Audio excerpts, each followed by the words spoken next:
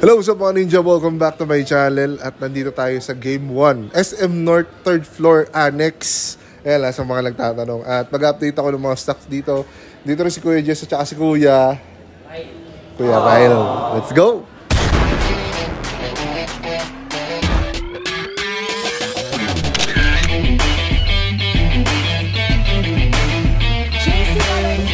Boss!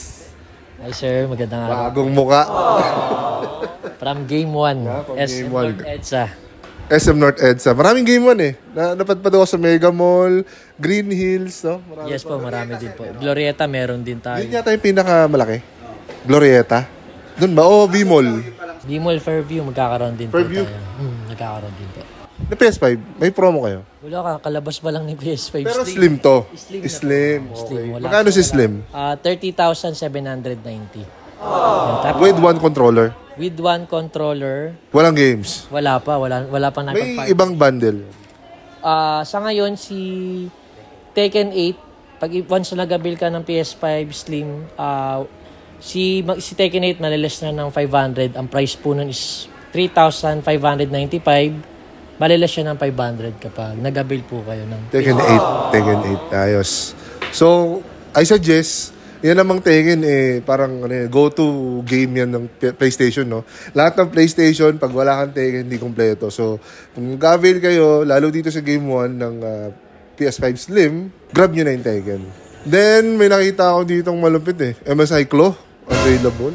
yun meron tayong MSI Claw Magkano si MSI Claw? Ay, yung, ano, may ba, iba-ibang variant ba yan? Oh, meron tayong ah, MSI Clone na Ultra 5. Ang price po nun is ah, 44,995. 16 gig RAM, 512 gig ah, storage po yun. Tapos yung isa namang model po niya na Ultra 7, ganun din, ah, MSI Clo. 16 gig RAM, 512 gig ah, storage. Ang price po nun is 49,995. Tapos yung pinaka top of the line po niya, High-end. High-end po niya yung Ultra 7 din na 16 gig 512 gig storage na naka 1 terabyte po siya is 53,995. Oo. Parang mas mura siya. Doon sa unang labas ng mga handheld, no? Pero ito yung first time na Intel, Intel, ano? Pro Intel processor po Kasi na naka yung, uh, yung lahat ng mga, kagaya ng ROG Ally, ng uh, Steam Deck, OLED, pati yung Legion Go, lahat yan, uh, Ryzen, AMD, no? Ito lang yung uh, tanging Intel, no?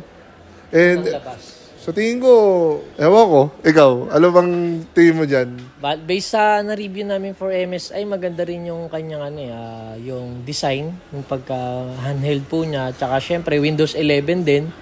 Optimized Ah, Windows nung- 11, Mm, Windows 11 pa rin siya. And binibase ko pa rin yung ano niya, yung syempre yung processor niya is Intel, so Yung iba kasi talagang bias sa Intel eh. Pagka processor, Intel, no? Pero pag sa gaming, gaming is uh, AMD, Ryzen. Pero sa ano sa init, tingin ko mas mainit si AMD. AMD. No, mas mainit si AMD. So, tingnan natin, magkakaroon tayo ng review. Eh, oo, soon, siguro. Pero, recommended ko sa mga Intel users yung ano, MSI Glow. Maganda yan, MSI pa. Diba? At available dito sa Game 1. And alam ko meron yung cash discount. Yes po. Meron tayong Lahat pag cash is less 1,000. 1,000. Very nice. Woo! May bago ba labas? Wala. Rebirth pa yung huli. Yung pa rin, ano? Alone in the Dark. Alone in the Dark. Asan siya? Ayun, Alone in the Dark.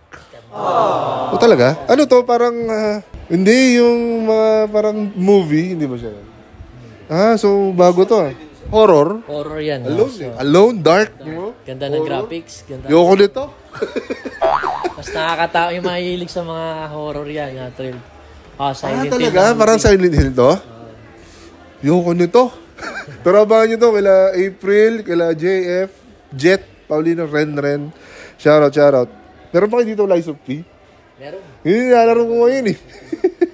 Ganda. Yun, maganda yan. Ang ganda. Yun yung pinaka mag- malapit sa Souls na nalaro ko. Actually, ino-OA pa nila eh. Sa ngayon, for me, dahil siya yung nag-iisang PS5 na Souls, re- regard, ay, ano, not mentioning the Demon Souls, maganda yung Lies of P. Laruin niya. Very nice. Then, pwede pa rin mag-build ng PC. Yes, available po yung mga PC build po namin tsaka yung mga PC parts. So, yung kung naghahanap kayo ng pang live streaming, pang gaming, pang schooling, yan. Ito yung mga quadcast. Quadcast na mic. Yan, for live HyperX. streaming. HyperX na brand, meron tayo dyan. Yan. Laptops, meron din. Mm, ROG, MSI, Lenovo, tsaka Acer, meron tayo. Oh, kompleto. Kompleto. May PS4 pa ba? Wala na. Sa ngayon, Ah, wala na PlayStation talaga. din, wala na rin pong pli- PS4 ngayon sa ngayon. So, Pero mga PS4 games meron tayo. Ah, meron pa. Talaga? Cool pa rin yung mga bagong Ah, oo nga, no? Ace Attorney. Oh, good news. Pero hindi na yata nag-sale tong DualSense. Ay, DualShock. Inaantay yan ni Jeff TV. Shoutout, shoutout. And controllers, meron din. Ay, meron PS5. Cover. Oh, meron na. Ay, sa. Magkano to? 3,295. So, May less pag cash. May less po. Less Less 100. 100. Anong available colors nyo dito? Sa ngayon yan, sir, yung cobalt blue pa lang na meron tayo. Oh, pero alam ko merong five different colors ito. May black, may pink, oh, may white. Yata. Ah, meron. Meron sa PS Store. Mamaya, dadaan ako doon. meron din Pulse Explore. Pagdating kasi sa PlayStation, syempre, mas lamang doon yung mga stock. Pero for the varieties of gaming peripherals, meron dito sa game, ah, sa ano, Game 1. IT, IT, IT products. Tsaka yung Kasi iba yung dun sa iTech sa taas, no? Ah, yes po. iba. Okay, doon doon mga parang gadgets, no? iPhone. Ano ba ba? Yun, pwede kayo mamili dito ng, ma- ng sarili nyong build. Meron din silang mga suggestion kung saan nyo gagamitin. Kasi mahirap naman magsabi kung ito yung mga build, eh, no? Iba-iba yung build every kung saan mo siya gagamitin. no? Reference. Para may bigay namin yung tamang, ah, yung mas mataas na, mas matagal mong magagamit. Free naman yon Yes po, free build naman po tayo. Free build, tas free assemble. Yes po. free Oh!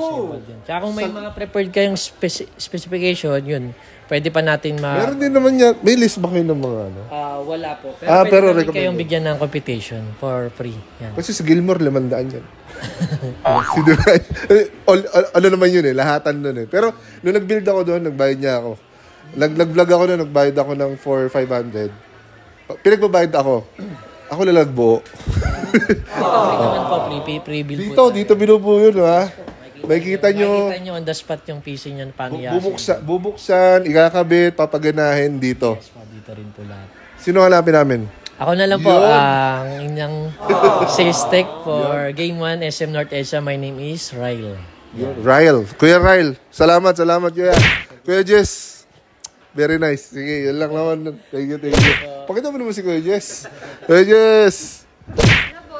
Bossing, bossing niya. So, ilang naman ang updates dito sa SM North Game 1. Mamaya titingin din ako. S- s- siguro na flash na yung mga ibang stocks ng uh, uh, PlayStation Store. And kung gusto nyo silang i-follow on Facebook, ilalagay ko na lang yung uh, Facebook page nila, pati yung Shopee, yung link nasa description box below. And syempre, yung Shopee natin, available pa rin yung mga um, Anbernic memory cards, which is the RG35XX Garlic OS, pati yung uh, Arc OS na 353V devices, RG35XXH, and plus the Batocera OS. Lahat yan nakalink sa description box. Ito yung mga games na available and pwede pa kayo mag-request ng games, 5 games, upon checking out.